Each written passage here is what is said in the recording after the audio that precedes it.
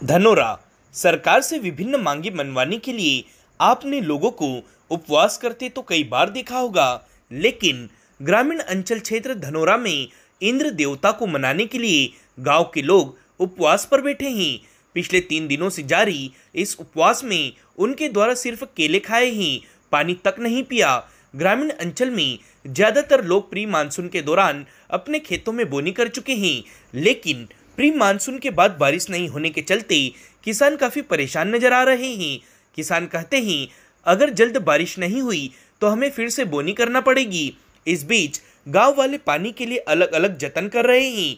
ग्राम धनोरा नवाड़ फलिया में तो गाँव वालों द्वारा गाँव के पटेल वारती पुजारा गाँव का डहाला कुल पाँच लोग पिछले तीन दिनों से इंद्र देवता को मनाने के लिए उपवास पर बैठे हैं। इन लोगों द्वारा सिर्फ़ तीन दिन में केले ग्रहण किए गए। यहाँ तक कि यह लोग पानी भी नहीं पी रहे हैं। पुरानी मान्यता के अनुसार लोग भिलट बाबा के सामने पानी नहीं गिरने पर उपवास पर बैठते हैं। फिर पानी गिर जाता है। यह लोग जब तक अपना उपवास रखेंगे, जब तक पानी गिर नहीं जाता। कारण पाने के लिए बैठे ले कितने दिन से बैठे आप लोग? हम तीन रोज हो गए। उपवास के दौरान में हमने केले इतने खाए बस। पानी वगैरह खाना कुछ? पानी भी नहीं दिया। कुछ नहीं दिया? ओ, आज मेरे को अभी एक गिलास पानी नींबू में दिया। हम्म।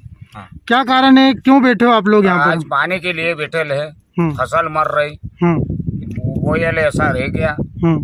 है ना? पटेल को आरती को पुजारा को गाँव डाले को गाँव का कोटवार को मतलब चार जन पाँच जन को बिठा दिया ना तुमको पानी खाना नहीं देंगे तब तक।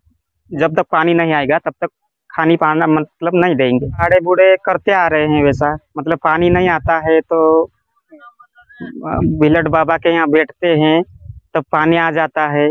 खेतों में हमने हमारे यहाँ तो मतलब पानी गिरा था थोड़ा बहुत तो हमने बो दिया। अभी सब एक महीने से पानी नहीं है। एक महीना बोले तो मतलब हो गया समझ ले। अभी खेतों में क्या स्थिति बन रही सब फ़सल मरने लग गई। अभी जल्द बारिश नहीं होती तो क्या स्थिति बनेगी? जल्द बारिश नहीं होगी तो हमको वापस बीज और लाना पड़ेगा। फिर बोनी होगी। नुकसान होगा। नुकसान होगा। ये पहले बोया हो वो तो नुकसान हो जाएगा।